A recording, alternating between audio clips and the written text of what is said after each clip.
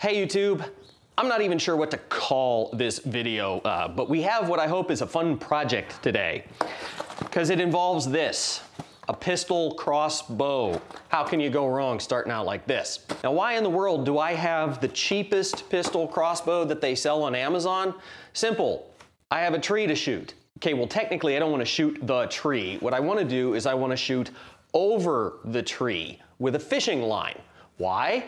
So I can use that fishing line to haul a rope, which I can then use to haul an antenna. Specifically what's called an end-fed random wire antenna. We'll talk about that a little bit more when we get to the antenna part, but for right now, let's get this thing out of the box.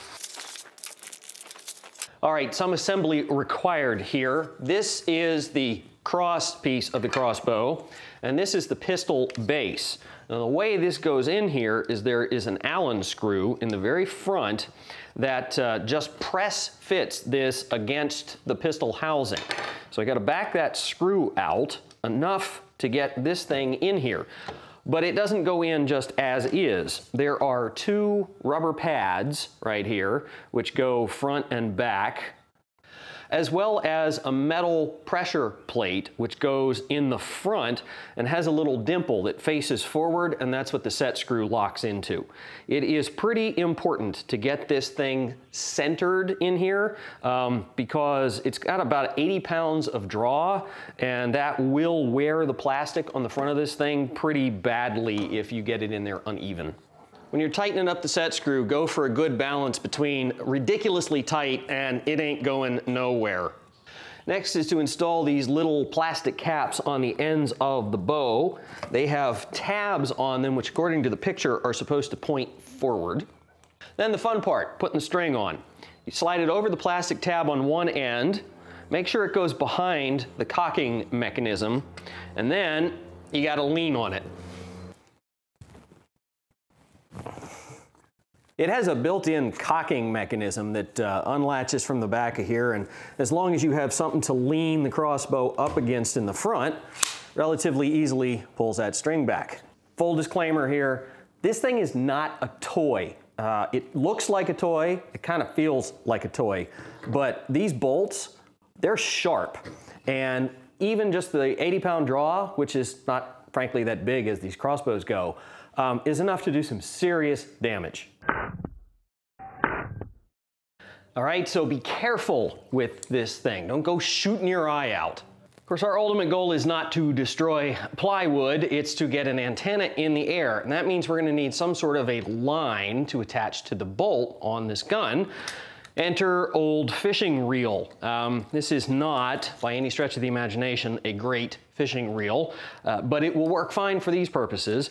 What it does have that's important is an open bail, so there's absolutely the least amount of restriction to the line leaving, and it has a pretty sizable spool capacity. So I could load it up with, in this case, 30 pound test high vis line and still have quite a bit on there. I'm just gonna use wire ties for right now. Um, if this works, then I'll do something a little bit more substantial, but uh, if it doesn't, I wanna be able to get this thing off of here and uh, still have a crossbow to play with.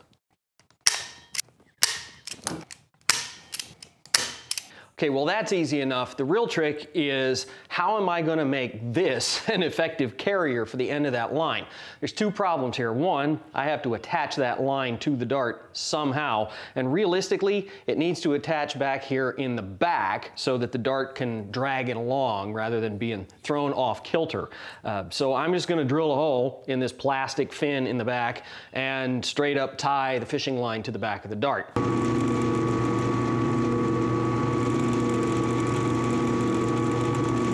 After the trip to the drill press, we can get to work on fixing the other serious problem here, which is the light weight of these bolts.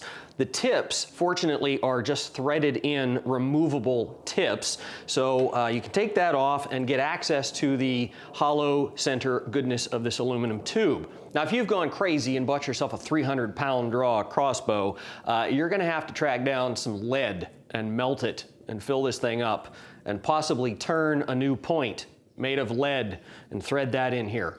But uh, fortunately for the little 80 pounder that we've got, I don't have to go to anywhere near those lengths. In fact, I only went to my kid's room and stole the little sand art project that she made, Lord knows when, but it's lost the lid long ago, lost some of the sand, and uh, it's all mixed up. So we might as well put it to good use here. I made myself a little paper funnel here and I'm just gonna go ahead and absolutely plumb fill this bolt with sand. Um, in fact, I'm gonna overfill it. I'm gonna fill it until the sand is up to where the threads for the point go because I don't want the sand moving around and I wanna get as much weight in there as possible. So I'm gonna use this point to compress the sand down into the shaft of the bolt.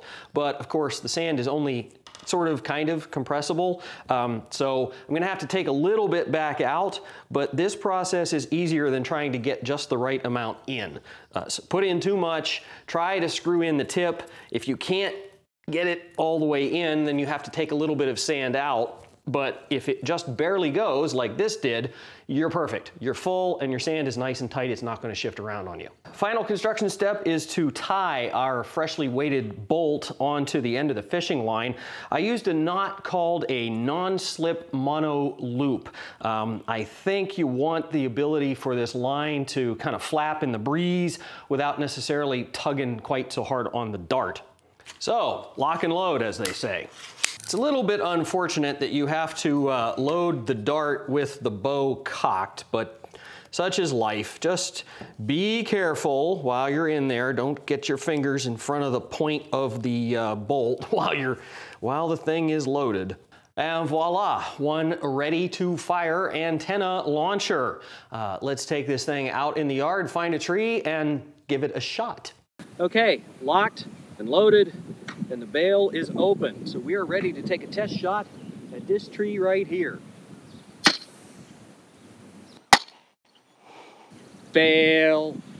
So what actually happened there is my fishing line is really old and it's twisted up and curled up.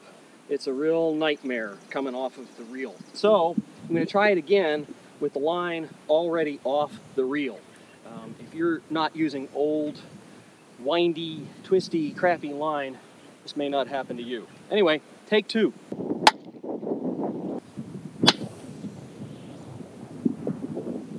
Success! And that right there is the extra good thing. The dart seems to be heavy enough. It's pulling the line down. All right, YouTube, here is my random wire antenna.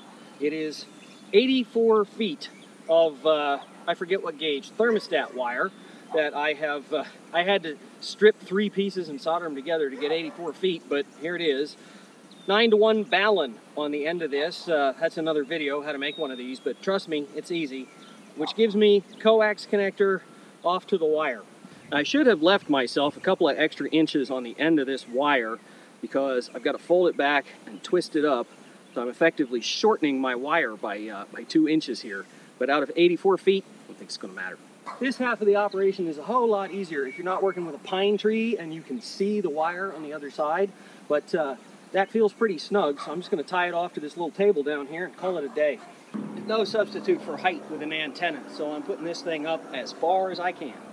Okay, and here's the final antenna running out So the antenna is up. I checked it out, it works, made a couple of contacts. Uh, I did shoot some footage of checking the SWR and the contacts and everything. You can leave some comments down below if you're interested in seeing that. Maybe I can crank out a part two of this. Um, but this is the star of the day. Final thoughts? It works, gets the job done. And unlike the pneumatic launchers, uh, this one, you get as many shots as you need, even if you're out in the boonies someplace far, far away from a compressor. Couple of areas for improvement. Uh, the choice of line was terrible. Uh, do not use five-year-old 30-pound test catfish line.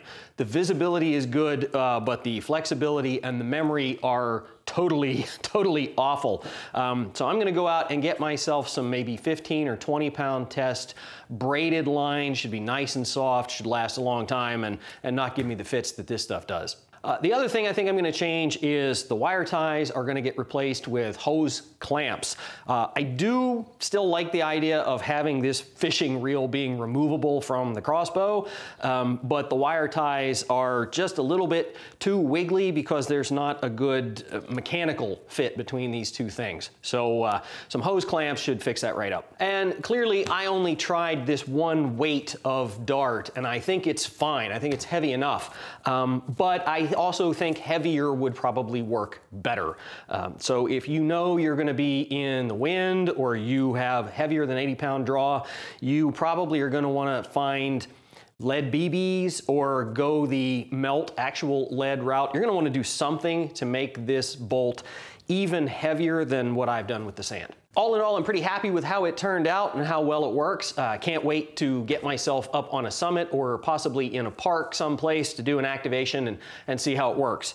Uh, one note about that, before you go taking a crossbow pistol into your local county or state park, uh, make sure you know what the rules about weaponry are in there. Um, even if you've replaced the sharp point with uh, something blunt, um, this probably still qualifies as a weapon and uh, an antenna is worth getting yourself arrested over. Other than that, any questions, leave them down below. Think about hitting that subscribe button while you're down there. And as always, especially if you're gonna play with crossbows, stay safe, YouTube.